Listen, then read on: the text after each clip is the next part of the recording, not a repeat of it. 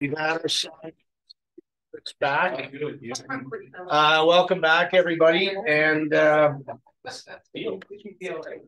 So if uh, if we could step back into five point four, the pay principal policy, and uh, I put it to uh council. Councilor McGowan. I'd like to, Jen, I'm gonna try and seek some consensus. Committee amends the draft a principles policy.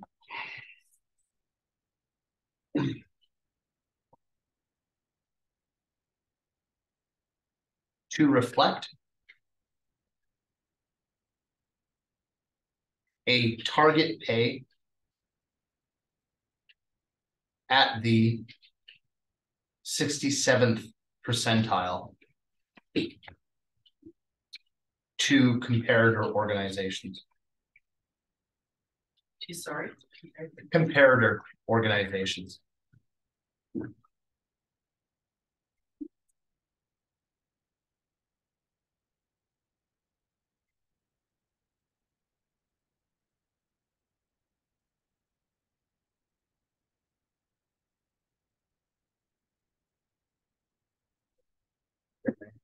Yeah, just honestly, this, this comes out of some discussions with, uh, several of our colleagues.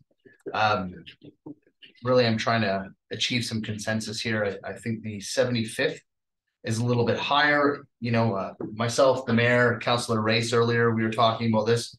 If we're sitting at the seventy, or pardon me, the sixty-seventh percentile, really what we're saying is, you know, the town of Hinton aims to pay more than, you know, two out of three other organizations uh, puts us in the top third. I think that's, I think that's a noble objective. Uh, by the same token, I think the seventy-fifth, the seventy-fifth percentile is, is a touch too high. Um, I considered sixty, I think sixty-seven is a, a bit of a, a sort of middle area. Thank you. You had your hand up, I, I did, Councilor Race? thank you, sir. So I don't want to speak directly to your motion. I do have some questions for, um, administration. On page.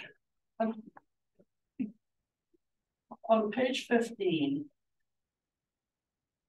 I think the middle of that page, it talks about eleven percent of our non-union employees make. Below the fifty percent threshold, eighty percent are making at seventy-five or higher. I, I know it's in the report, but how many people are actually making less than fifty percent? Um, so, um, and you said it is in the report, so it's, if you go to the bottom of page sixteen. So below the range of fifty percent non-unionized employees, that's three position and three employees. So three. Okay, and I do have another question, sir, but it'll be. Sure, yep. Okay, and just a little bit below what we were, we were talking, it talks about there are significant constraints in reducing the compensation percentile below seventy-five percent. And the, the second dot there says. Reduction of unionized wages generally results in strike.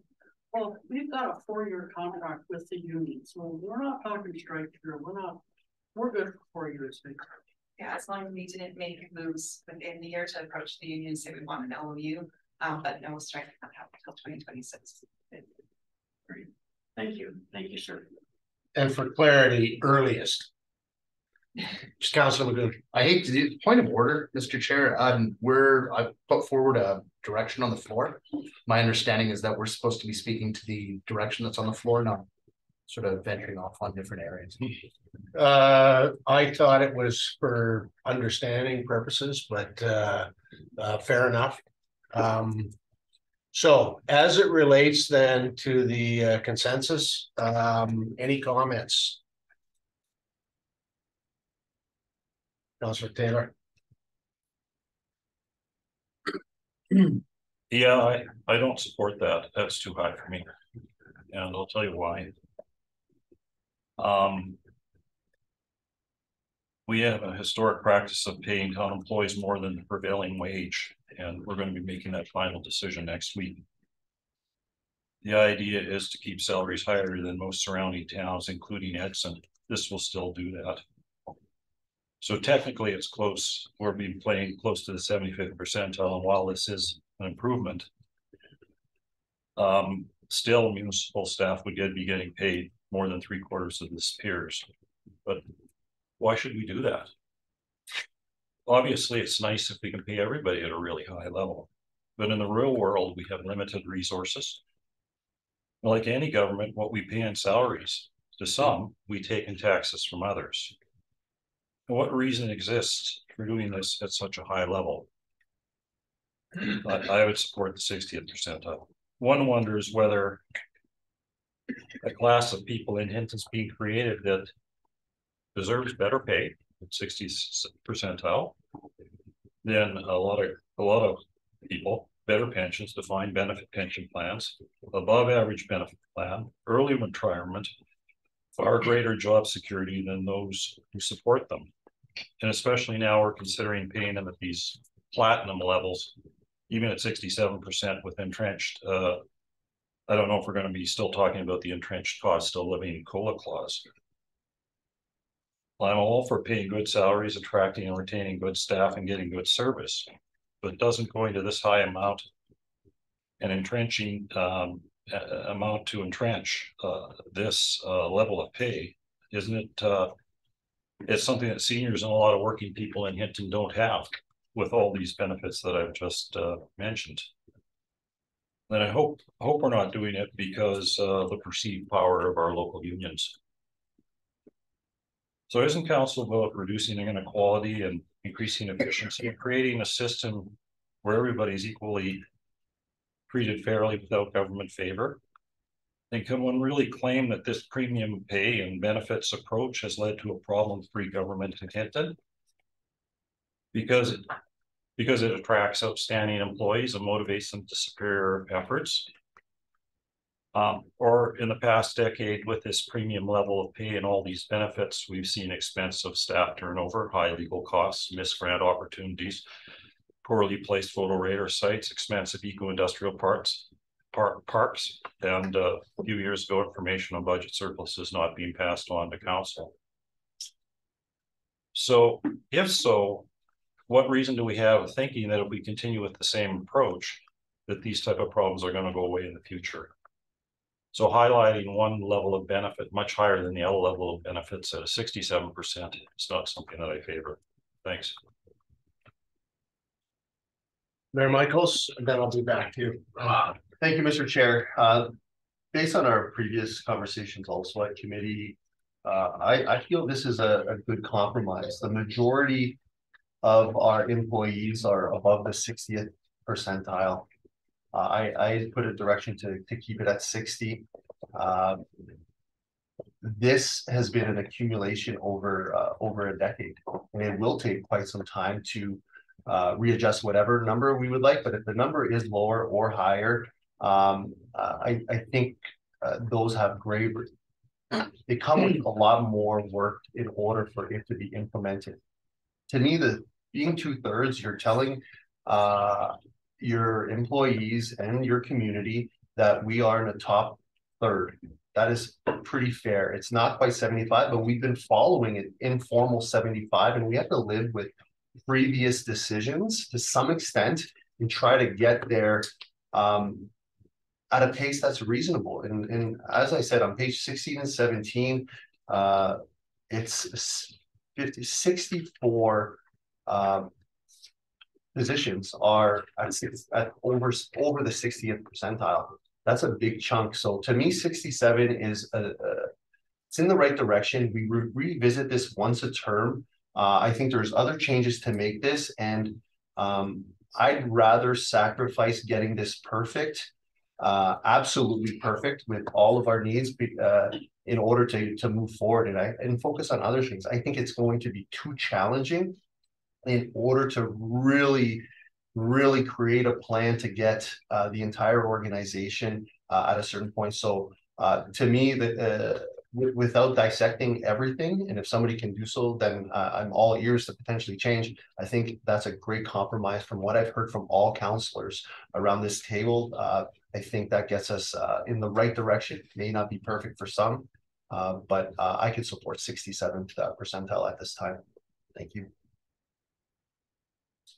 Councilor Race, Thank you, sir. I'll be quick. So seventy-five percent of our union employees are making the seventy-five uh percent. Eighty or um eighty percent of our non-union are at that seventy-five threshold. Only three non-union employees are below the fifty. So. it's kind of status quo. Those who are making seventy-five percent threshold, they'll continue to make that. We're not gonna knock them back to sixty-seven. But new people coming in will start at the sixty-seven percent of that. So, right? When we say we want to introduce or come in at the sixty-seventh percentile. People who are at the seventy-fifth, they're not gonna lose money, they will stay where they are. Is that, is that a question? Well, for I'm. I'm just asking, Oh. I want to get some clarity. administration, um, through the chair to, uh, members of the committee, so. There's several options available, but if we do pick a lower amount than what was historically, uh, chosen. We will have to get legal involved in order to really have a good plan on how we can make the, uh, scale those wages back. Uh, because we have two different parts of the organization, we have, uh, the legal implications of doing that. And so we just need to make sure that we have legal involved if we are going to uh look at any lower percentile than what has been, we'll say, set out in historic practice. So um we will have a plan as administration, but just here today, um I I- I don't know if we have the details of how we're going to do that until we have a set percentile. So, may I? please. So my thinking was if we do go to a sixty-seven percentile, those that are making or around seventy-five will stay there. They'll, they'll stay there for as long as they, um, work for the organization or the, you know, they follow that greater step thing. But new people coming in would fall within the sixty-seven, nobody would lose money. But, but I may not be understanding it correctly. Yeah, so, so through the chair, so the. The more complex part is that we have to align this with our collective bargaining process, and we have to determine how we're gonna reconcile those two, because. Um, you know, it, it's not overly complicated, but what you're talking about is, you know, what they're making, you're not going to roll them back, but what you do is you red circle those stats, so over uh. X period of time, uh, with cost of living, uh, they would stay stationary and then eventually they would just be caught up with whatever that target percentile is. Um, the question I think that is going to be really tricky is how do we reconcile that with non-union? Uh, making changes, do we want to make changes immediately with the collective bargaining process that's on until twenty-six? With my priority of trying to implement equal pay principles for everybody. So if we lower them down now, um, with non-union staff who are already making less than their unionized counterparts, with unionized staff, uh, being immune until the collective bargaining system, those are the tough questions that I think we need legal opinions on. Um, but the actual mechanisms of bringing wages back into alignment of target percentiles are, are relatively simple. Sorry, Councilor McEwen, I no sort of missed you, but please go ahead. Uh, yeah, no, um, I think. I think the important thing is, is that as a council, we achieve and demonstrate some collective will. And again, I'm just trying to speak as plainly as I can. Some of the councilors I've talked to have favored, you know, in the neighborhood of sixty percent. Some of the councilors I've, you know, I, I've heard indications that they don't favor any movement, that they'd rather stick at seventy-five. Again, I think what we're trying to achieve is a bit of a consensus in between the two. Uh, and I guess respectfully, um, you know, if, if one is willing to settle at say sixty percent. Uh, as, as a target for, uh, where we're targeting our pay principles. The difference between sixty percent and sixty-seven percent is really seven percent. I would agree, having been somebody who actually favors a sixty percentile for myself only. I don't think seven percent is gonna solve any of the problems, for example, that Counselor Taylor highlighted. They're not. I think really what we're trying to find is an arbitrary number that most of council can back and support. And in this case, I think sixty-seven percent sort of splits the middle difference. Uh, so again, in this case, I'm just trying to find something that's gonna represent the will of council as a whole, which is why I put forward sixty-seven percent. Thank you. You know, I've got myself in queue and, and I guess in comment to how do we get there, I think it took us eleven years to get here. I expect that if there's a change made, it's gonna take that long to adjust. Um, the other side of this report that, that we're not talking about today, though, was, uh, and I reread it, um, was the report from the consultant that we hired. Not only do we pay more, but our benefit package is one of the best benefit packages of any of the communities. And I think that what people earn is a combination of their pay and all the other things that the organization provides. Um, and I think that, um, um, the town of Hinton corporate has provided a pretty good package, both pay and benefit. And, uh, the, the, the, the, the, the unfortunate part of it is that's all been arrived at, and perhaps it should have been dealt with a lot earlier, but without any input from any council at any time. It just started happening. And uh, I think um, from a perspective of fairness, um, Councillor Taylor brought this up. Um, we've all been elected to sort of represent taxpayers, ratepayers. And I think that's an important consideration on this. And, and so um, I think that um, we we do need to consider the the pay package, both pay and and benefits, and and it's important. I mean, every ten percent costs us a hundred and well, essentially a a one percent uh, increase in taxation. And that's really what it all comes back to in, in doing this is is to is to say, uh, is the community any better served? Now, I've heard that you know we're going to lose people we're going to, but all of this rollover and all of these things that have happened in the past happened with this regime in place. So I, I, I, it's a it's a tough decision, but I think for me personally, it's time for us to to to to begin to have those discussions. To uh, to uh, and it is hard, but to have those discussions to bring it more in line. My thoughts, uh, Mayor Michaels. Thank you, Mr. Chair. My question to administration is, should committee be discussing whether this applies to new hires specifically or and not rolling back? Because I, I hear some members uh, of, committee speak to that, including myself, uh, in the past of uh, I have no issue not affecting previous contractual contractual agreements with employees and leaving them there. And as Councillor LeBaer said, it took over a decade to get here. I don't mind respecting the agreements we have, but this is the new threshold for moving forward. Should we be clarifying that it is for that, or do we need a like a, a second direction or consensus in order to? But I believe we're we're sort of making an assumption that we're rolling back, and that wasn't my intent with speaking in favor of this. This is just to be the future target, and then we decide collectively on are we rolling back or not? Any comments on on how, from a procedural standpoint, we should address that question? Uh, through the chair to the members of the committee. I don't think any motion would be required, you know, that uh the methods of how or the.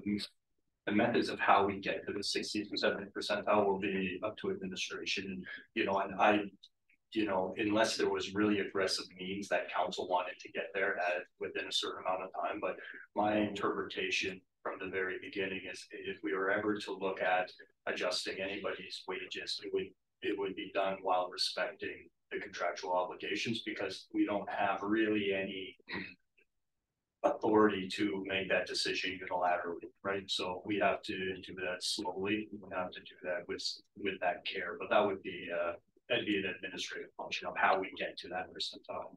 Can I, can I follow up, Mr. Chair? I'd love if you would. So, um, that, that specific point, could council even debate that, like getting there slowly, I may, I may not even want that. I think it's, if you contractually you're at the sixty-eighth percentile or seventy-first. Let's say we land on sixty-seven, you, you're, you, you never go back. Uh, like, that's my intent. Could we get consensus? And I'm not saying that's the will of committee, but I think a big part of this is, is, is respecting what we have, but just making a decision for new employees and never touching and rolling back. Could we even consider that? Or is that not an option and that may change part of the dialogue? Through the chair, we could. Um, that's a tricky one because wages and where they sit on a comparison of percentile, they'll ebb and flow depending. Um, you know, really what you would end up doing is use the most recent study of where exactly they sit. And if they are above the sixty-seventh percentile, you increase them at that point. And that would be the percentile that they'd use, but a percentile of compare comparables is not a contractual. Uh, agreement, right? That might be where they fall, but um. But you certainly could. You could, you could bake that into uh, into the individual contracts, that if you are above this certain level, you will remain there. And uh, uh, your wage will be adjusted differently than others. But, but once again, my priority in this, um, people above the sixty-seventh percentile might uh, kick it, but my priority is to make everybody equal. Um, I think that it causes more issues if the if you compensate employees differently, um, than if it is even at a lower amount, but it's all the same. Because you're still, uh, you're still embracing internal inequities and how people are compensated. And I think that's what me personally, I'm trying to get away from with this policy. Thank you. You're good? Oh, yeah. Counselor Taylor, and if we could at this point, let's keep our comments as it relates to the consensus. Um, one of the reasons, I mean, I don't like the number, but one of the reasons why I like the straightforward uh explanation of the number that you're gonna come to. Is that I believe that we're policy and their implementation, and we've hired uh an incredible group of highly talented people here. That are gonna go away and they're, whatever the number is, they're gonna implement that number and they're gonna implement that number in the most uh. I don't know, uh, practical, fair, straightforward manner uh possible, and we either trust them to do that as we've hired them to do the job, or we don't trust them to do that. I think they can go away, and then when they come up with that plan. They can come back and report the plan to us. I don't even think the onus is on us to approve the plan once they've reported it, unless there's some extreme red flags or something. I think that's just what we do versus what they do, frankly. Counselor Race, Okay, thank you, uh, Mr. Chair. So I will support this hundred percent. What this motion is saying to me is, we're gonna move this to regular. If, if this, if this, um, because we're standing right now, it's gonna go to regular for a vote. So we're gonna have a week or more to talk to people about this. And hopefully when we come back to regular, I'll still have my mind made up, but I'm gonna go with the sixty-seven percent percentile, but I do have one question, sir. Um, where does the STEP program come in? If I'm at the sixty-seven percentile and I'm at step three, am I froze there? And I don't make more money, I get a good evaluation, or- Um, to the chair, I, I will refer to Nikia mostly on this one, but I believe we talked about the uh, salary range as being at that percentile. Yeah, um, so there. I think it would go depend on how we go about it, but if you were at step three, but step three is at the sixty seventieth. And the sixty seven determined at the top range, then you're frozen there until that becomes the top one. So you could be frozen wherever you are on the steps and not see increases for however long it takes. To eventually get to the sixty seven. all right, thank you very much, thank you, sir. Counselor Oz, Um, so I've been quiet on this. I, I will support the sixty-seven. Um, not a fan of it. But the reason I want to support it is because I don't want it any lower. Um, I'm one of the counselors, uh, that I think uh, seventy-five is reasonable based on costs, based on a lot of things that uh, might deter people from coming to Hinton. Cost of living, for example, and things like that. Um, I don't agree at all with the past comments made by another counselor. I found it interesting that on one side of their mouth, they said one thing and then just said that they're highly professional people. So I find that kind of interesting. But anyway, I will support this, but um, uh, yeah, we'll see what, what Reagan brings. So thank you. Let's keep comments as it relates to other counselors off the table. I I have a don't, I, clarification on that comment. I take some offense to that. He suggested I said something improper. There's no way I did. Clarify what you said, please. The comments that you made about administration, about how much they get paid and all the mistakes they make. And then, and then you said the other side about but let's, let's, let's not, again, as the chair, I don't want any more comments as it relates to another member of this committee. I don't think it's fair. I don't think it moves the issue forward. So let's just leave that all off the table, please. Any other comments as it relates to the consensus? Councilor Ostashik. Thank you, Mr. Chair. Uh, as a counselor who previously did support the seventy-fifth percentile, I've outlined those reasons before. I think it's important that we are an employer of choice and that we're able to attract quality candidates.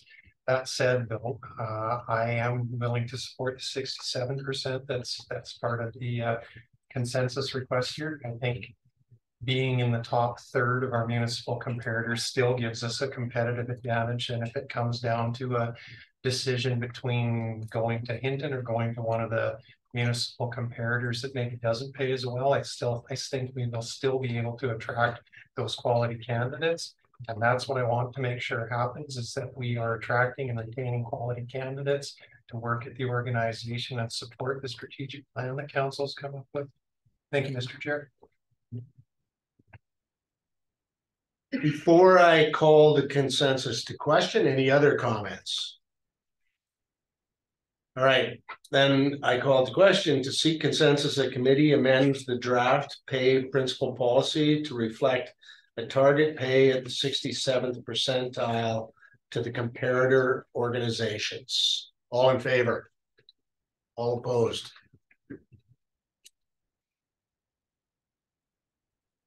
All right, uh, step one. Uh, any other changes? Oh, Councilor Race. So I do have a question before we carry on, and if it's not appropriate, just let me know and I'll withdraw it. In regards to, um.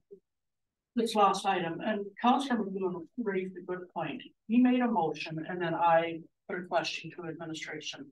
So how do we do that when we're dealing with an action item, a motion is put on the floor right away? How does a counselor ask questions to the the document? Uh, through the chair, I believe that the, the chair ruled that that was a clarifying question. So I, I'm okay with that, to moving as the chair in most situations. Okay, so are you saying if a motion is on the floor, a counselor can still ask questions of the. You know, the action item to admit? That's correct. It's important that everybody understands. I think it's a complicated and a big issue. Um, which is why I was, why I allowed you to, to ask a question. All right, council, uh. Any other changes you would like to see? Any other?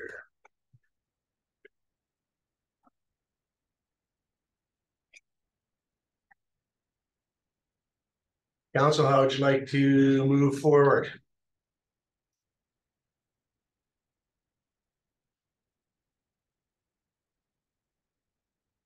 Councilor, Mi- or Mayor Michaels. Thank you, Mr. Chair. Sorry, I'm just trying to. Preface, um. I would like to seek consensus. To.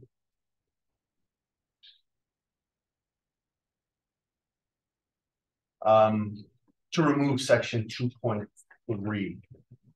Of, uh. Policy nineteen oh two. Uh, and if I may speak to it. Um, I'm, I'm open to a few, uh, I'll throw that one on the floor first. Uh, I think the way the calculation is at the current. Uh, the way it's currently drafted is, uh, uh, a bit, is, is way too high. Uh, hypothetically, even this year at a seven percent, uh, inflation rate plus plus two percent of. Uh, non-unit or unionized, that's nine divided by two, a four, a four point five percent. Uh, salary increase would have been approved without any motion of council, and I feel that's too high. So we either tackle this by adjusting the equation, which I believe should be lower. Much lower, or we can move it, which is what we've been doing in the past, so uh, I favor uh removing it. Or at the very least lowering uh, that uh five percent uh annually before council must approve it by resolution, and I put that to my colleagues to see where they stand and. Uh, either uh move on with this or with an alternative, thank you. Well, Councillor Oz, I saw your hand come up. No, okay, Councillor Maguhn? I, I have a number of thoughts actually as related to that, the COLA adjustment. Um, one of, one of the possible solutions that I thought about with this was that for myself, I think COLA is quite important below a certain threshold of pay. I think uh, for some people, depending on uh, their total salary over the course of the year, um, COLA has a much greater impact uh, than those who are making, I don't know, I'll, I'll pick a, a larger number, to access of $150,000 a year. I think somebody who's struggling to make ends meet with 60 grand, you know, comparative to somebody who's making 150, COLA is, is remarkably different. I'm not saying that it's not important, but it is different. Um, and I'm actually much more apt to make it automatic for one side of that equation than the other. Or um, the other way to deal with this, I think, in a transparent way, is to make it um, based on a, a resolution or a decision of council every budgetary year where it comes before council, say in the early fall, uh, and council simply, you know, makes the decision, uh, you know, in a transparent way to the public. So those are two of the thoughts that I had, and I'll sort of pull back and see how the rest of council feels. Councillor Taylor? I agree with you on that. I don't support clause two, three. However, I wonder why you would even want to go ahead with this new pay policy. That we've just came up with the uh sixtieth, seventh percentile policy, and if that passes next week. Uh, the management team is gonna have to go away and do a lot of work to come together with a plan that they're gonna have to come, come with us. That leaves in place the old policy, and the old policy does have principles of fair and equitable in it. And those principles of fair and equitable will undoubtedly have suggestions on how to arrive at while trying to achieve the sixth and seventh uh, percentile as well. So I'm not sure why we're going ahead with this new policy with even, even any part of it. Well, just stick with the old policy, see what we get coming back with, uh, with, uh, the sixty-seventh uh, percentile policy. Because this, this says, uh, equitable, fair. This says that periodically, uh, regarding your point, periodically, the external wage uh, comparisons have to be made and compared to us, and then that has to fit into this as well. So it's got that in here. The old policy already has that in there. Seems a little premature to move ahead with a new policy with a COLA clause. That's my thoughts. Uh, I have a uh clarifying. Question then, I mean, if that, if that. Uh, target set at sixty-seven percent. Would it be administration's um feeling that they should put a plan together to come back to us, or? Is that then your purview to manage to that number? Um.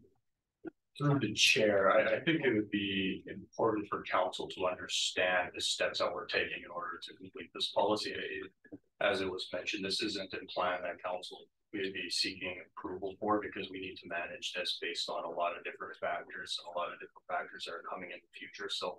Um, I think it's important that we communicate how exactly we're going to, to make this work because there are it, it- it's not very simple in, in this, uh, in this environment, so uh, council needs to be aware of how we're going to get there and the implications of how we're gonna get there, because there will be some risks and implications associated with a lower percentile amount. Um, specifically when we're discussing this with the union. I like that answer.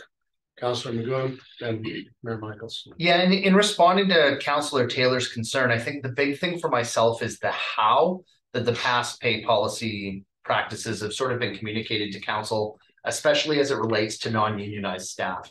Um, I found uh in the past, not this this past year, but previous to that, you know, we would grapple with the COLA decision. Uh, and the COLA decision was brought to council and often, you know, at a very high level, it was communicated uh, non-unionized staff are not paid to the same sort of uh, increases in degree with their salary uh, that say unionized staff are. But that's sort of where the discussion ended. Um, and then when we did the deep dive into the actual numbers this year, and we looked at well, how are we uh, compensating non-unionized staff compared to other organizations? We actually found that we were comparatively much higher, I think, than we thought we were. So it comes down to the how. If in subsequent years we did receive a very thorough package that said, well, this is where the town of Hinton compensates compared to other organizations, I'd have good data to make that decision. But if it looked more like we have in the past where the COLA discussion was, well, here's a COLA discussion, we don't pay as much as other people. Well, where are the numbers? I need to see the proof. So that for me, to respond to your question, that's the crux of that decision is I felt this year we had much better information to go on than we had in previous years. So. Mayor Michaels? Thank you, Mr. Chair. Uh, I do want to clarify, it was my understanding that the previous direction for the sixty-seventh percentile would impact policy of nineteen oh two.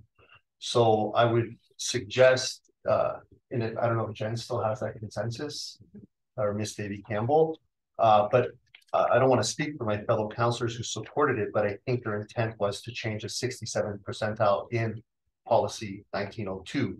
So if that policy changes or is approved, I would highly suggest that even though those who are against having policy nineteen oh two make amendments in case that passes. Because as of right now, nineteen oh two is going to come back to us amended and, and potentially passed. Uh, and if not, vote against this, uh, the, the current uh, consensus and, uh, plead your case to, uh, uh, use the previous, uh, policy as the one moving forward. So I just want to clarify that nineteen oh two was the assumption that would be amended and then therefore passed potentially. Thank you.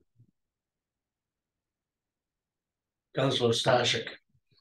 Uh, thank you, Mr. Chair. So to bring the conversation back to the consensus request that's on the table. Um, I won't support fully removing two point three. Uh, I think it's important that the uh. Pay policy has.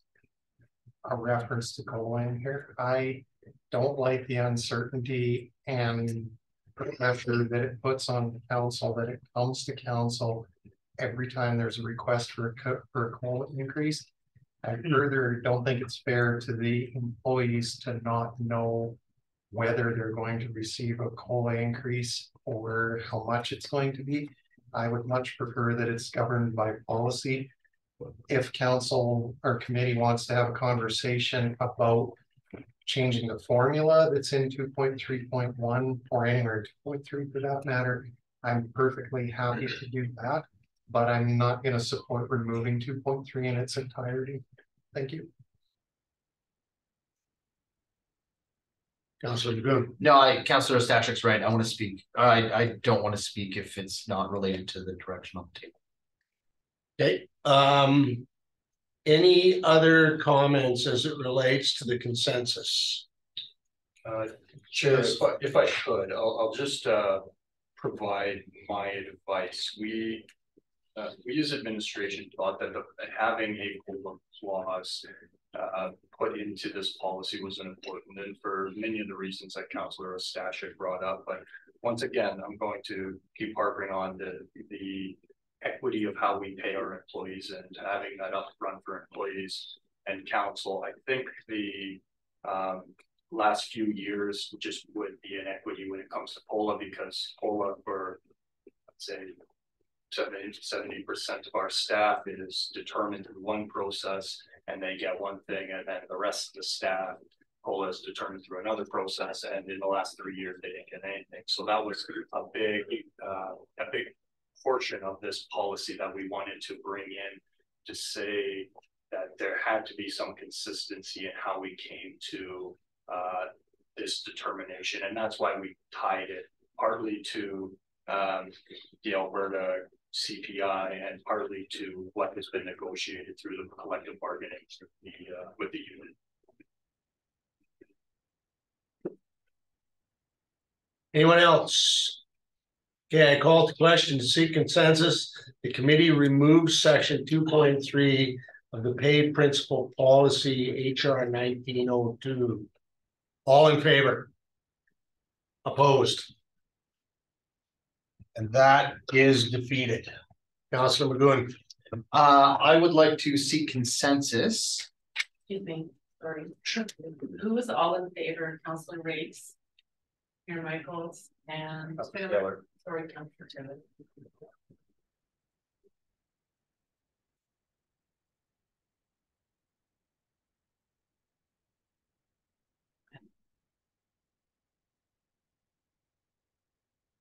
Like to see consensus.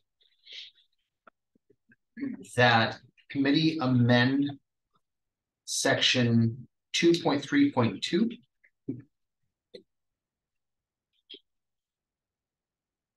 To reflect a maximum of two percent.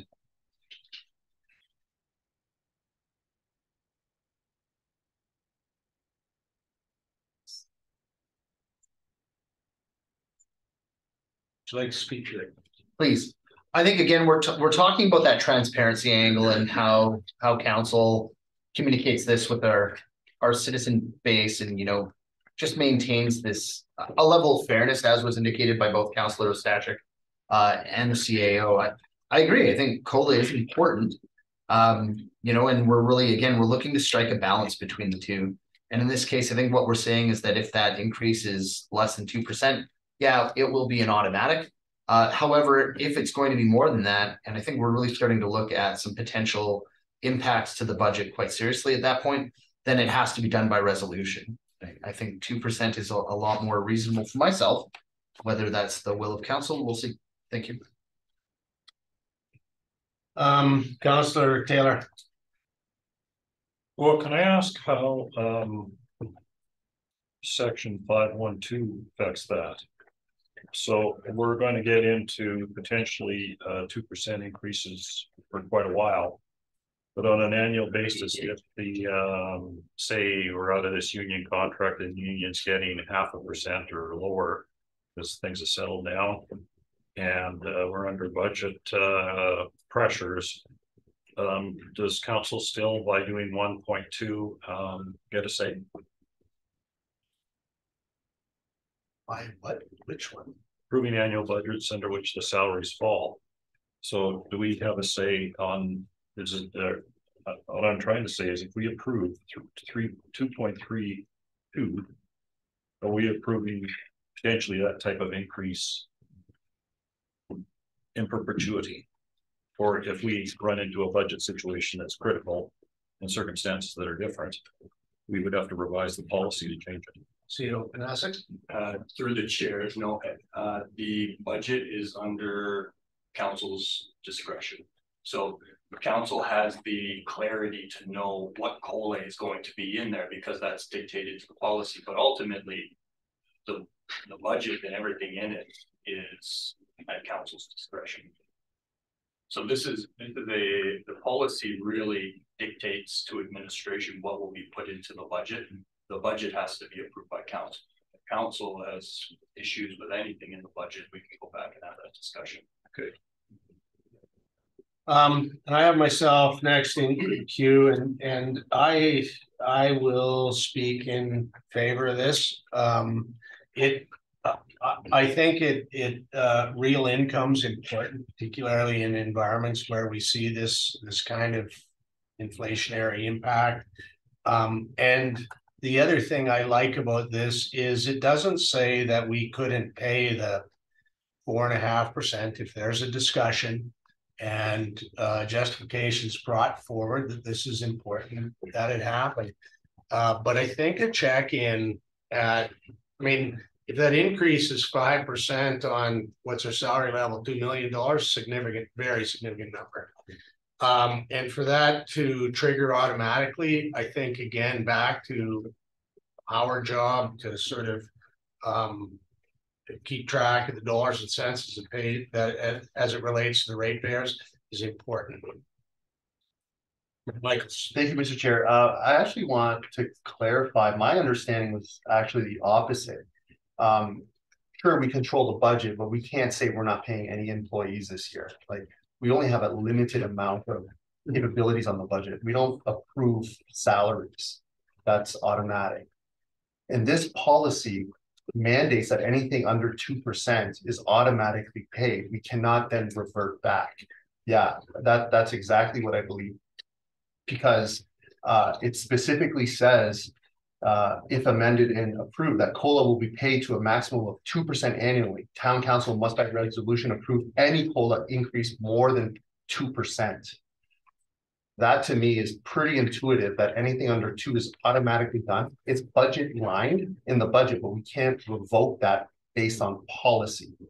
That's my understanding. So just to clarify, I'd like to go to CO Panasiuk that um, we either have to, I believe, change the wording of this because it's redundant. If council can revoke two percent or less, then why would we need a resolution to approve anything above? We need a motion to approve any.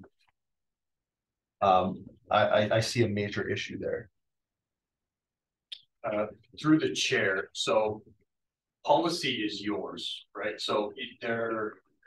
Once again, this has to be, because it's not a contractual obligation, uh, uh. That we get X percent, like it is possibly with. Uh, possibly with union, but, uh. But this is just a policy that council puts in for clarity purposes. The budget, you absolutely have that authority at the budget time. To, to look at, to really at anything. I mean, there's implications to all decisions that you make, and there may be implications. To this, but very, very little. It's not like we're making decisions on somebody's uh. Salary that have been, that has been agreed to, right? Uh, the agreement here is council's. Council's resolution to say this is what's going to be included in the budget based on this plan. But ultimately, the budget is at the discretion of council, and council can make those changes if they see necessary. Can I follow up?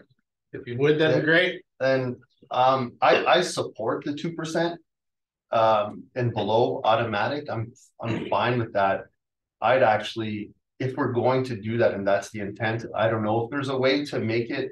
Where it's automatic, uh, I, I still struggle with the wording that then we need a motion for anything above two percent. Well, technically, yeah, I don't know, um. If there's a way to guarantee it, I'd like to give that stability then to it. Maybe it's not the will of council, but if we approve it here just to.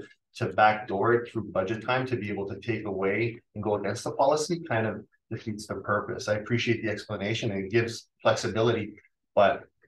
I don't know if that's the flexibility. If we're okay with this. I think any council who goes against policy that's pretty explicit like that. Uh, I don't know if I want that in, in even my purview is what I'm saying. So I don't know if we can get there, but if there's an appetite to make that mandatory, to be fair and equitable, to only remove it during budget time. I don't, I thought we were going in a different road there. So just my thoughts. Thanks. I guess for clarity, because, um, yeah, we have the ability to, uh. Uh, to set the budget, but not as it relates to people's particular salary. I mean, we could say we're only going to approve this amount of money. Go figure out who gets paid and who doesn't, but I mean, this clause certainly could flow. Through at budget time, um, automatically, uh, but we're just looking at the macro number at that level. I mean, I don't. Foresee that we would rescind this two percent increase. It would be a comment on the cost of providing the service. back to the CO capacity. Through the chair, that, that's correct. Essentially what this does is just. It eliminates the need to make individual decisions at that point. Like, you know, council can still have that discussion if they. They have issues with it, but essentially what you'll see at budget time. Um, you know, we have a policy that di- dictates a uh formula. Um, in the global budget, we will identify any increases as part of those increases. We'll just say, you know, based on the formula through policy, it's been this much increase, right? Instead of bringing an RFD and uh, uh, making decisions, it just provides a little bit of clarity to everybody in the process.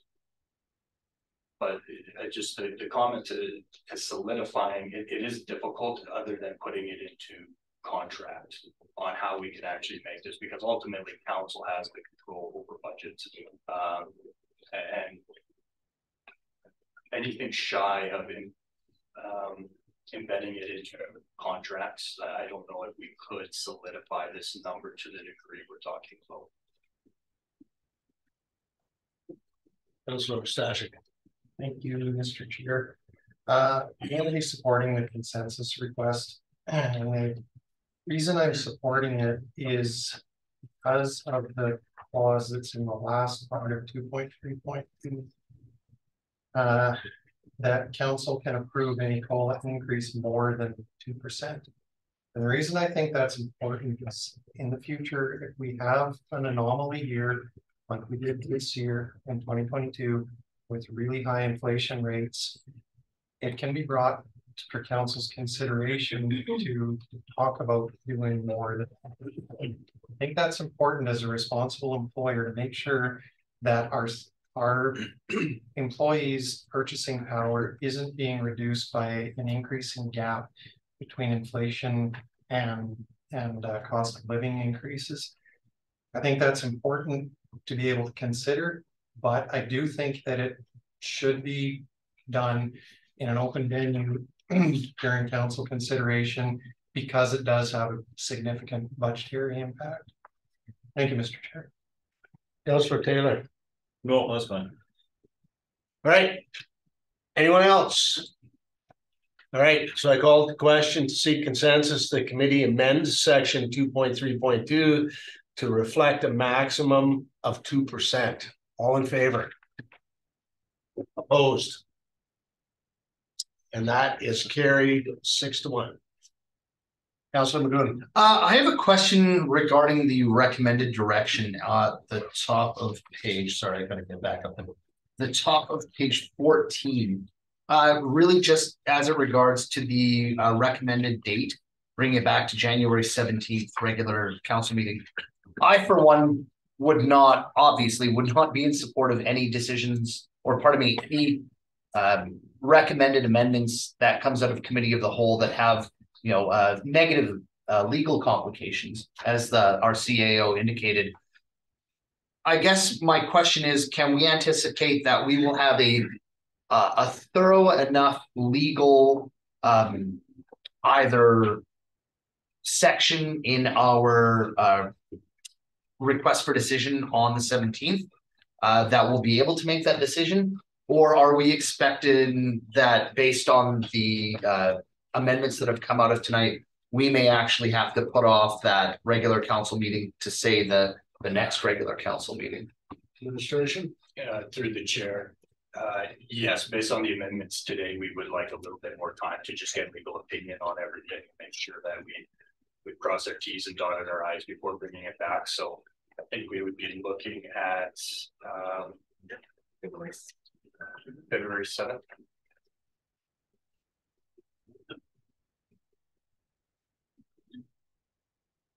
Yes, um. I believe we'd be looking at February seventh as possibly a target date. Thank you, Mr. Chair. Okay. Councilor Taylor. At that time, we do have this uh. Implementation plan for how to achieve the sixty seventh percentile? Or does that come after we make the decision on the sixty seventh percentile? Uh, through the chair, that that's likely to come afterwards. Okay. Thanks. Hey, council. committee, whoever you are, how do you want to deal with this? Councilor Ostashek, Mr. Chair, I'd like to see consensus. That committee direct. Administration. To bring the draft pay principles policy HR one nine zero two. As amended to the regular council meeting of February seventh, twenty twenty three. speak good? Uh, no, Okay. Anyone else? I'll wait till it's up.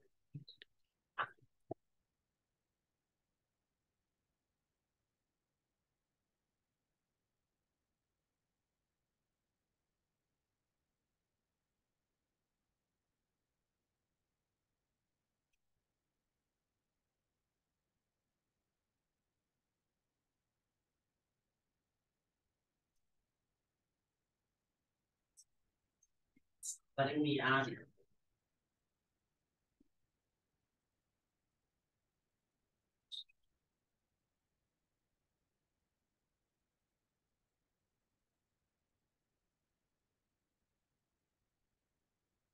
Mr. Chair, well, it's coming up, may I? Please. My apologies. Thank you. Uh, no, I think it's just important really to note that, at least for myself, and I'm, I'm sure for the rest of council too. Uh, I'm really interested to see what some of those legal implications are prior to that meeting. Again, you know, it's, it's one thing to batter these things around in committee of the whole and say, oh, okay, well, this sounds like a good, good idea right now. Um, but if, if there's anything that we've sort of looked at tonight that does have any long lasting negative ramifications. Yeah, I'm just not willing to support that in the long term. You know, if it's gonna take us a little longer to work on it, then it takes us a little longer to work on it, make sure that we're making good decisions. Thank you. Relating to the consensus request? Related to his comment, All right, please. I don't think you're gonna have that totally until we get the implementation plan, and we run the implementation plan by the lawyer. Like all we're gonna get is, is you'll be okay with six and seven percent, that's what the lawyer's gonna come back in. Councilor Ostashek. Thank you, Mr. Chair. So I've got a little bit of a concern with the direction this conversation is going. It's not up to council to decide how to implement the direction that council's given. That's uh, that's the duties of administration. And I'm perfectly content to give administration the direction that they need and to have them go out and figure out how they're gonna implement the direction that council's been given them. Thank you.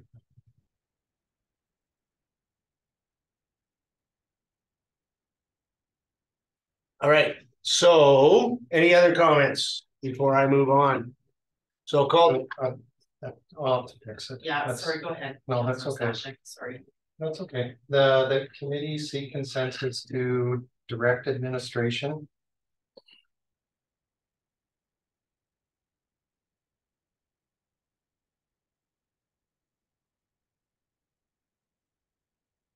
to bring the draft pay principles policy HR 1902.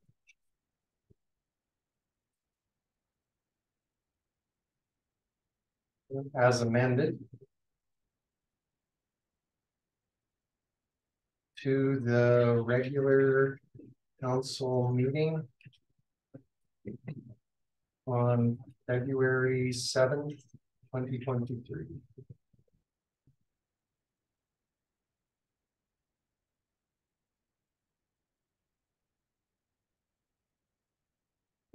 With that? Yep. All right, then I will call to question that committee seek consensus to direct administration to bring the draft pay principles policy HR 1902 as amended to the regular council meeting on February 7th, 2023. All in favor? And that's passed unanimously. Mm -hmm. I don't think so. Oh, sorry, Stuart, that's past six to one. Um, all right, so down to five point five, the Northern Regional Economic Development Grant Administration. Thank you, Chair, to the rest of the committee. So, um, this is a relatively short notice turnaround that, uh, a, new Northern and Regional Economic Development or NRED grant program has just been released with a. Uh, a date for application of January twenty-second, so we turned it around as administration. We provided a few options for council, but did want endorsement from. Um, from the committee here today, uh, we will provide this. Uh, as a formal motion on the seventeenth, but because of the tight turnaround with January twenty-second. We wanted to get some buy-in from the committee here today, so we could put our weight behind getting an application done for that date and uh have enough time to put together a, a strong application, so. Um, so we have a few options available. Um, the strategy behind the options that have been provided for all of them actually is to leverage what we've already committed and leverage what we've already budgeted to try to just double up that money for additional, additional items. Or in uh, certain circumstances to offset uh, future year budgets uh, for us as the town of Hinton. We also have a handout that has been provided to everybody.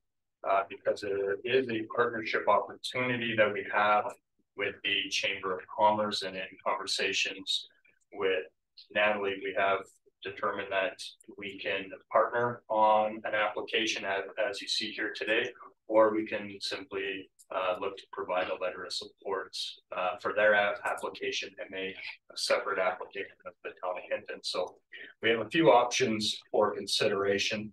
Um, the first being the metal silhouettes trail connectivity phase one all of which have been budgeted budgeted in for 2023 and the green square historical sign for uh, which is budgeted for 2024 um, the option number two we have our 23 and 2024 contributions to pathway to the park. We have reached out to uh, to that agency and they have provided support and, and if we did decide to make an application um, leveraging the fifty thousand dollars that we budgeted in twenty twenty-three to get an additional fifty thousand dollars, uh, which would cover off our twenty twenty-four contribution.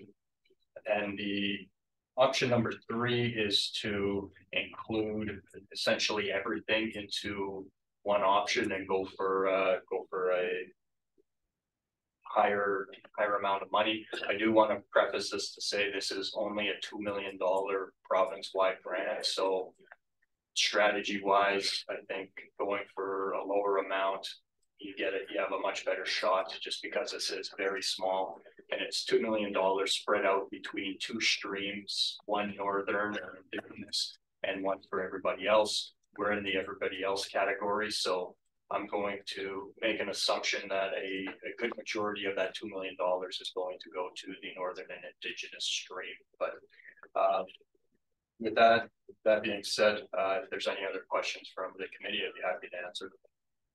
Um, and I, uh, Councillor Haas. Yeah, so I appreciate those, uh, those comments. That was one of my questions about, you know, like being such a small grant. I, I guess I do have one clarifying question in regards to options two and three, adding the pathway to the park. It's not that I'm against it, but when I'm looking at page thirty-three of forty-five in the application, it says eligible products must not take more than two years to complete. And I'm just curious, does that project then fit and align with this? Because I mean, this is not a project that's going to happen in two years. So when I was looking at that, I was just wondering, does that actually fit? Uh, through the chair, so the project that we would be putting forward would not be the completion of the pathway to the park project. The project that we would be submitting really is the planning and design for that project, and that's the project that we would be submitting to the grant. But yeah, the the project in its entirety um, won't be a part of the project. That's more of the future, but we'll be very specific to this as a planning um, you know, it's, it's more the preliminary stages is what we're applying for, and that's the project. Okay, thank you. Good. Councillor Good. Uh, thank you. Uh, question regarding option four on page twenty-nine.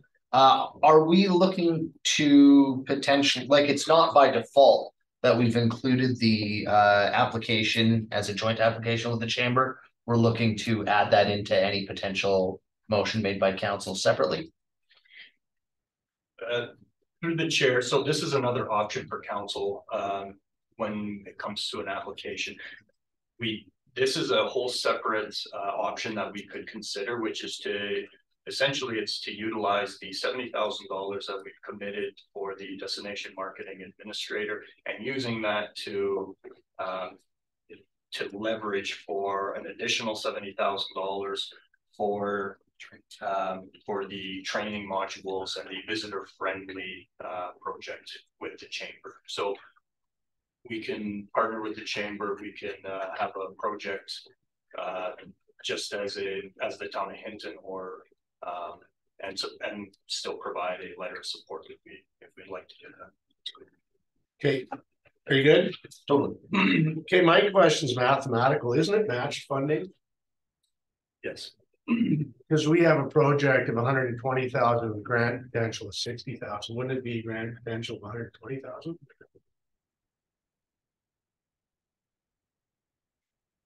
Sorry, what would? Well, so, so option one Yeah. on page three, 29 and forty-five. So the total project is hundred and twenty thousand and we've got potential grant funding of sixty thousand. Isn't it match funding? Like, wouldn't it be hundred and twenty thousand as potential grant? Isn't it doubling the money? So what we're, what we're providing here is that we're actually going to, um, we're looking to leverage that to, for it to pay half of it. We could leverage the total amount and we could have an additional hundred and twenty thousand dollars to do something else. But what we were doing is that we were leveraging the money, uh, looking for half, try to get half funding for it. Just So- because but it's like smaller. just because of the smaller grant, you're absolutely right. You could say that. Uh, for these three projects, you know, for hundred twenty thousand, and we could add to that. Amount to come up with an additional, something to use that additional hundred twenty thousand for. But it would be the, the same calculation based on here, because we're still I see, yeah, yeah. half of the project still be. funded. Councilor Taylor. Um. We could do one and four, couldn't we? Like, we could send the chamber a letter of support or be their partner. And we could apply for uh option one for ourselves to get this stuff that we wanted to do anyways at uh half price. That's correct. Mayor Michaels. Thank you, Mr. Chair. On that note, uh, is it more prudent to do it separately, or do we add this? The seventy to the one twenty? Uh, I'm just trying to think from a, a leverage perspective, they get two applications, right? Um, or I know it's a bit odd, but could you have part of an application be joint while still submitting the rest? And if not, then we could just do two. Um. Through the chair, uh, to that comment, you could, you can certainly do both. We could partner with the chamber on their application and also make our own. Um. You know, it's, we get into a strategy discussion on grants, you know, my, my. Personal view on that, and that's all it is, is that if you put a whole bunch of things forward, um, sometimes the grants uh, the granting agencies, they think because you haven't identified what's the most important, they don't want to risk giving you anything. Uh, but if you put forward one thing and you put your full weight behind it, then you have a chance. But, uh, uh, there's also another strategy discussion that could be had on, uh, casting a wide net and seeing what you get. Yeah, thank you. Councilor Taylor. Uh, just uh. Go ahead with option one, just to be clear, a trail connect connectivity phase one. That's um actually doing work on the ground. That's not a planned project, correct? No, that, So that's uh, like signs, uh. Physically connecting this trail to this trail, you know, putting in the gravel for the trail, it's actually doing work, right? yeah, that's good. Mayor Michaels, Uh, thank you, Mr. Chair. I'll put forward the recommended action for the, for this time. Administration recommends the committee endorse a northern regional economic development application for Meadows to the West Trail connectivity phase one Green Square historical signage for a total of one twenty. Thank you.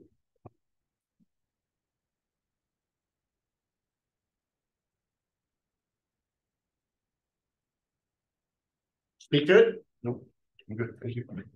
Councilor Ostashek. Thank you, Mr. Chair. Uh, just before it gets called to question. Question about strategy, I guess. Uh, in a grant like this, that's got a, that's pretty limited dollar value. Strategically, does it make sense to have our name on two applications, or does that mean the granting committee is gonna take a look and go? Yeah, no, there's only two million dollars, Hinton's got their name on two, they're not getting both. Uh, and that we're limiting our potential to get this one if we endorse the uh chamber one, or is there any restriction in that grant that you can apply for two? Uh, through the chair, no, you, you can apply for as many as you'd like, um. You know, supporting other applications, there may be, there may be some risk associated with it, I can't say for sure, but there's certainly. You know, some granting agencies or some individuals might see it as, well, you know, if everything's important for them, then nothing's all that important to them and. They prefer applications with their full weight behind it, um. And not, uh, you know. The word, but we're not hedging our bets, I suppose, um, but, uh, on the other side, you know, supporting, uh. The other local, um, applications. I'm not sure how much they would look at that as the letter of support, but Can I follow up, Mr. Chair? Please, Um, So my understanding then is that if, if somebody puts forward that, that committee support option four as well. It's actually the chamber that's applying, it's not really a joint application, it's more the letters of support. To the chamber that the town is putting their, their, their blessing on using that money to leverage, uh, to leverage the, uh. um, the grant, correct? through the chair, uh, somewhat, but it's a little bit different than a letter support. In this option, we can provide a letter of support, absolutely, but we are actually looking at being a joint applicant, which means that we may not want to apply for our own. And that also means that joint applications do have a lot more weight behind them. They look, they're looked on very favorably. So if we're, you know, we're a part of that project, um, it's just a little bit different than sending a letter of support because we are on the application and um. I, I think it sends a different message. Thank you, Mr. Chair. so can I follow up on that then? So, but we could just provide a letter of support, not have it be a joint. Application, and the letter would say, yeah, use our seventy grand to go and get the money. Right, that is an option, okay? All right, any other comments as it relates to the uh consensus? All right, well, then I call the question, the committee endorses. An NRED, I learned that today, that's how you pronounce that acronym, application for metal silhouettes, trail connectivity, phase one, and the Green Square. Historical signage for a total of hundred and twenty thousand dollars, all in favor? Isn't it for a total of sixty thousand dollars? Uh, the total project is hundred and twenty thousand dollars, the grant funding releases. Uh, Councilor Maguhn, Uh, thank you, Mr. Chair. I'd like to move that committee endorses a, oh, sorry, I'll, sorry, Jen, wait until you're good.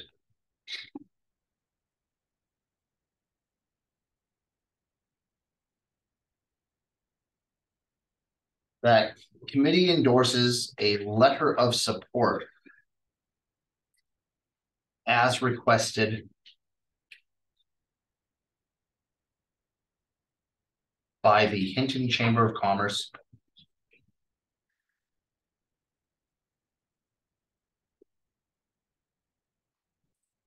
In an email dated. January tenth, two thousand twenty-three.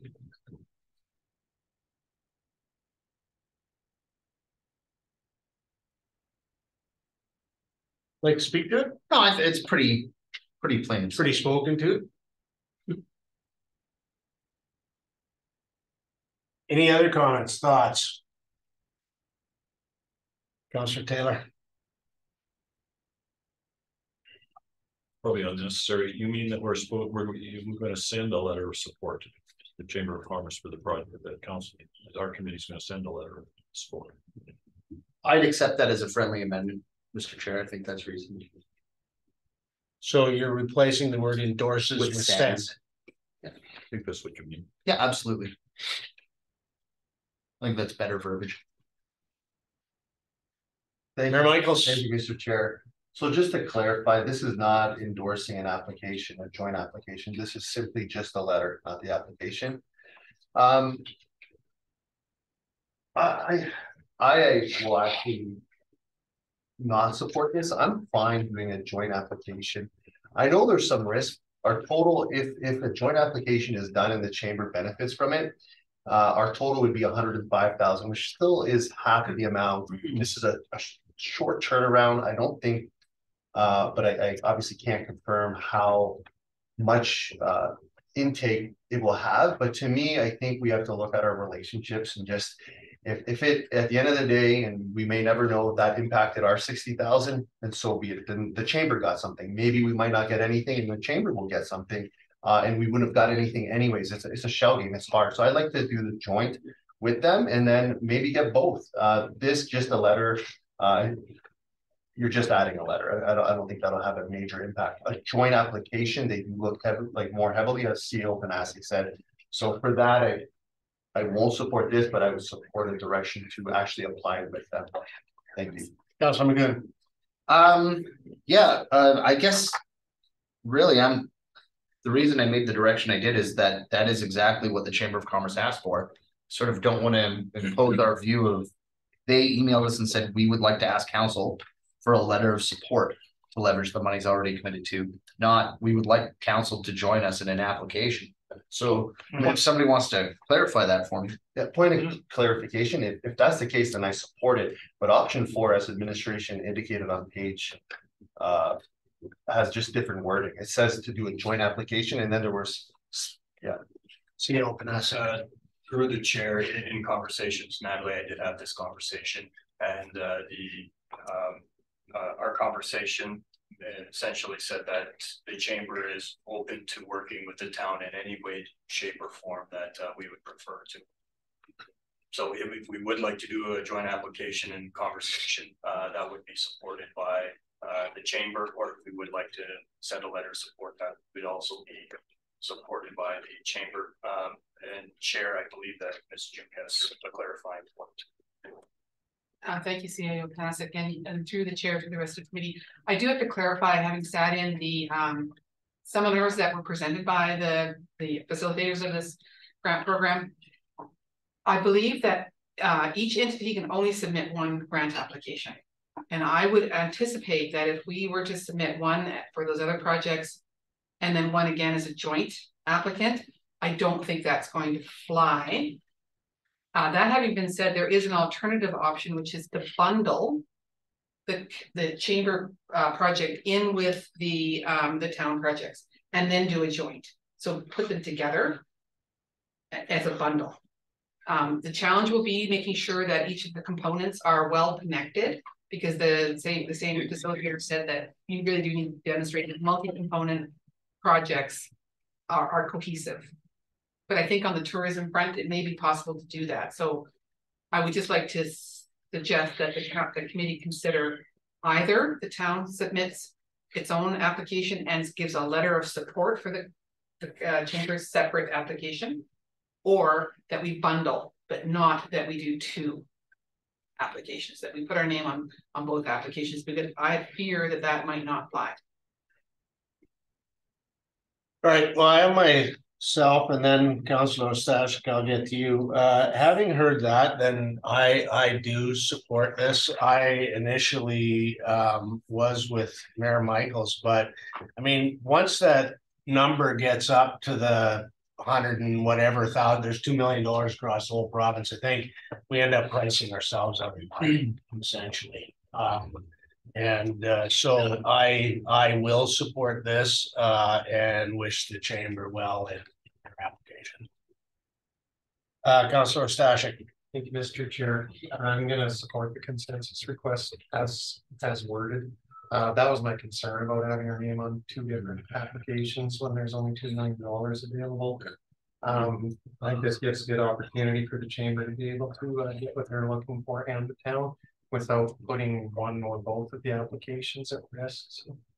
Thank you, Mr. Chair. And one additional comment I'll make, just because I sat in another session today is, is, um, they like, um. When, um, uh, money's coming from different levels of government, so hopefully.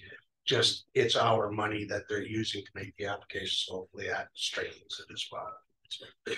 Anyone else?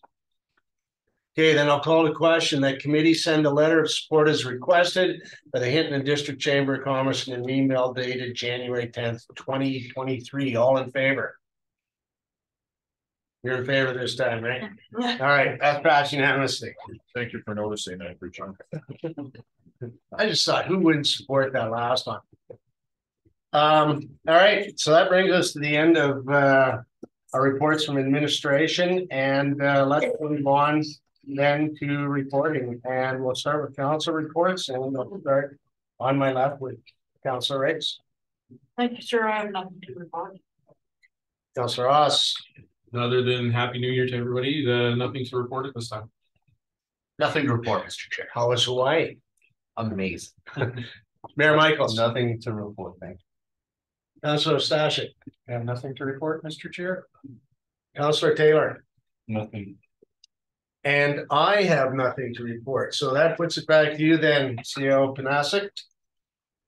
Uh, To the chair, happy new year's to everybody. I don't have a whole bunch to report, uh, but one of the big items we have re-engaged with West Fraser on discussions when it comes to our, uh, uh, water treatment and, uh, the options there. So in short order, council will be brought into those discussions and, uh, um, that's all I have to report at this time. Go ahead. Uh, you were first. It's okay. Um, I just, uh, did you have anything to add on the odor issue, uh, the other day? Like the odor, the odor was uh, particularly, uh, bad in the lower part of the valley and, uh, I mean, I noticed it uh, personally, I had emails and, uh. I noticed lots of feedback on, uh, Facebook. You were going to touch base with, uh, uh, West Fraser and then get back to us, I understand. And I just think that in a situation like that, maybe to get out to the, help them get out to the public. To tell the public, uh, what's going on and where if they have a concern, they should report this to, like it's gotta be a ministry environment number that they should be phoning or something. Uh, so through the chair, thank you for that. Uh, the, I did have a discussion with West Fraser on the odor. Uh, they were. They were. Troubleshooting, uh, the best that they can. They actually shut the mill completely down on the Thursday. Uh, to do nothing but troubleshoot and try to get to the bottom of this. Uh, this issue. They, they're not sure what is causing the odor. Uh, because it, it could be anything. It could be a, uh, a leaky gasket or, uh, one of the electronics, uh, malfunctioning and they're, they're having a difficulty. They're having some difficulties in diagnosing the problem, but they are, uh, taking it serious and they are trying to, to, uh, to get that. So we're, uh, so that's all I have to report at this time. They are working on it. They're hoping that they will, uh, be able to get that fixed. Councilor Ross. Thank you. Uh, I guess just a quick question, uh, it was mentioned, uh, in December. The, uh, the, uh, new developments that go up, uh, at a council doing a tour of the small. Uh, dwellings, uh, behind uh, Pine Valley Lodge, I'm just wondering if that's still something that we're gonna, cause I know that they were trying to get residents in there quite. You know, in the, in early in the new year, so is that something that is coming up soon or gonna be scheduled? I will refer that to Jen. Yes, I'm just waiting to hear from uh the Evergreens Foundation to schedule the. Okay, thank you. Yeah. Perfect. Councilor Race. Thank you, Mr. Chair. I forgot to say this. Last week I got to ride the bus. And I have to say, Mike is one of the politest, nicest people I have met. He was the driver. He greeted every person who got on that bus. And everybody who got off the bus, without fail, said thank you to him. Every one of them. So uh, it was a real treat. and I'll be riding that bus again because I don't want to lose my bus stop. I, I don't, it's right outside my house. Anyway, thank you very much, let's pass it on. So anything else then, see you open asset, Nothing permitted. all right? Council? Councilor Oz, To adjourn. thank you. All in favor? Opposed, if any?